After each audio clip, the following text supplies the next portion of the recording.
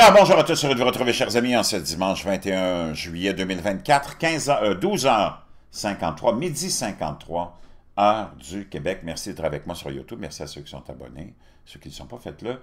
Maintenant, toute une semaine, ça n'a presque pas d'allure, c'est surréaliste, en passant de la tentative d'assassinat samedi dernier contre euh, l'ancien président américain euh, Donald J. Trump, jusqu'à l'espèce de panne bizarroïde mondiale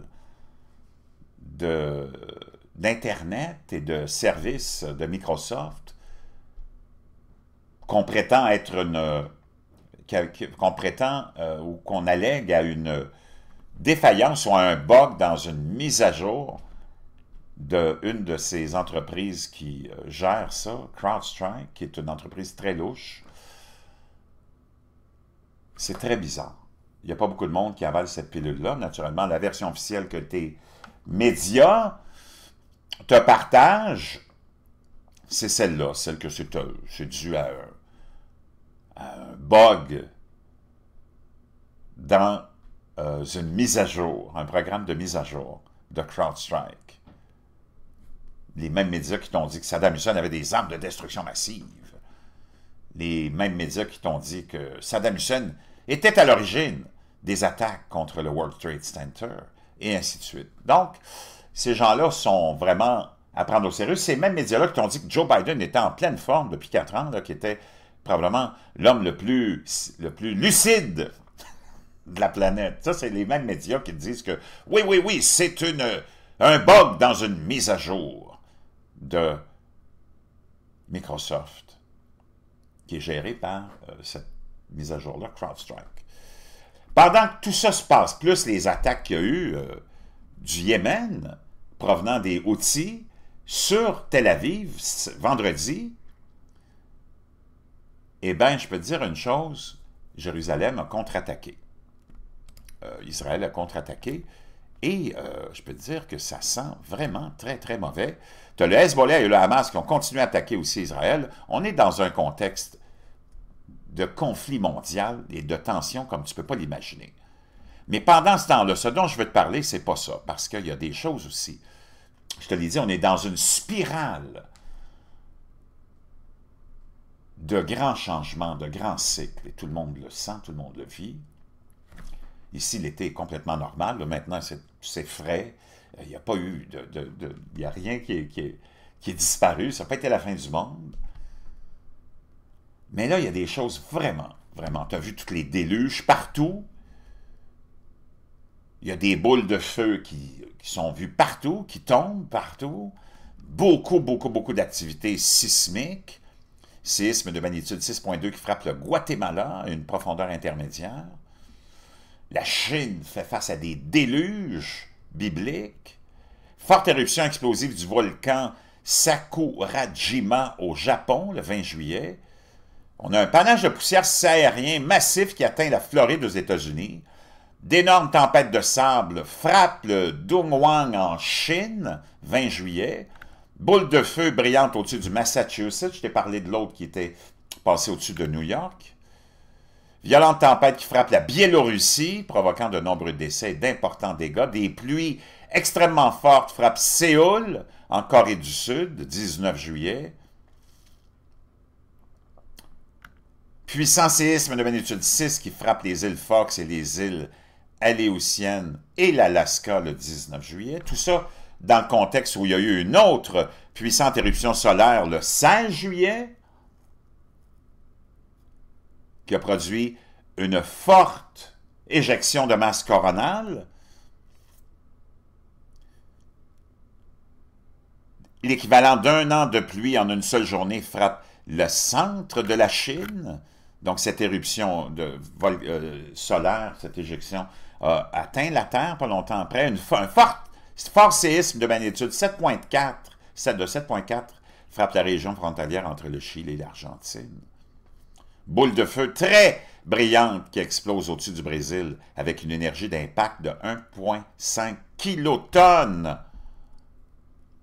Puissant tremblement de terre frappe le Midwest, laissant derrière eux une traînée de destruction 16 juillet, 2024. Wow! Glissement de terrain en Chine à cause de la pluie. Et j'en passe et j'en passe. Orage qui frappe Chicago, risque accru de tempête violente dans le nord le 15 juillet. La boule de feu qui est vue maintenant au-dessus, une boule de feu au-dessus du Massachusetts. Et j'en passe et j'en passe. Mais ce dont je veux te parler, donc tu vois, il y a une intensification de... On pourrait qualifier euh, d'événements d'une ampleur biblique. Mais Là, je vais te parler d'un volcan qui est endormi sur la métropole de Naples et qui commence à inquiéter énormément. On est dans un plan, ça, ça a été publié le 14 juillet 2024. Dans un plan, on a des plans d'évacuation aussi de cette population-là. Naples sous tension à cause du grondement d'un énorme volcan souterrain depuis 70 ans un supervolcan endormi sur la métropole de Naples se réveille. La ville est sur le qui-vive après le tremblement de terre le plus violent depuis des décennies qui a secoué les habitants. Lundi, on parlait du 22 mai 2024. On peut voir ici la ville de Naples. Moi, je suis allé à Naples. Naples, l'ancienne métropole du sud de l'Italie dominée par le volcan Vésuve, est en proie à la peur au milieu d'une série de petits tremblements de terre déclenchés par un autre volcan, celui-ci en grande partie invisible et en grande partie souterrain. Ce volcan endormi depuis longtemps, connu sous le nom de Campi Flegrei, se trouve immédiatement à l'ouest de Naples et, depuis les années 50, montre des signes de réveil avec le potentiel de causer des dommages catastrophiques s'il entre à nouveau en éruption. Lundi, l'agitation du volcan a attisé les craintes à Naples après que les 600 000 habitants vivant à son sommet ont été secoués par un tremblement de terre de magnitude 4.4, le plus fort enregistré depuis le début des années 80, la première période d'une telle activité sismique intense. Les champs flégréens sont la plus grande caldeira active d'Europe, un creux laissé par l'éruption d'un volcan. Les scientifiques italiens appellent cela un supervolcan. Durant ces périodes de forte activité, le volcan de la caldeira provoque également des grondements de la surface par endroits. Dans les années 80, le sol s'est élevé à 1,8 mètres, laissant les bateaux dans un petit port sur la terre ferme. Cette fois, les scientifiques surveillent de près l'augmentation du taux de gonflement. Le tremblement de terre de lundi s'est produit au milieu de ce que les scientifiques appellent un essaim sismique, un phénomène où des centaines de tremblements de terre, mais là, il y a des milliers de tremblements de terre qui ont été ressentis depuis. Et on a un plan d'évacuation aussi, euh, déjà euh, mis en place. Et euh, les scientifiques ne croient pas à une éruption imminente, mais il existe une incertitude quant aux conséquences possibles. Quoi qu'il en soit, les autorités avertissent la population qu'elle doit se préparer à de nouveaux tremblements de terre. Le tremblement de terre de lundi a alarmé les habitants de Puzzoles, une ville à l'ouest de Naples construite sur la caldeira. La région a été secouée mercredi par un séisme de magnitude 3.6, poussant la présidente du Conseil italien, Giorgia Meloni, à tenir une réunion d'urgence avec ses ministres. Le gouvernement de Meloni étudie actuellement les plans d'évacuation en cas de tremblement de terre majeur et d'une éruption éventuelle, environ 3 millions de personnes vivent dans la zone métropolitaine de Naples. Les champs magmatiques des champs flégriens sont immenses, même si leur taille et leur composition restent encore floues.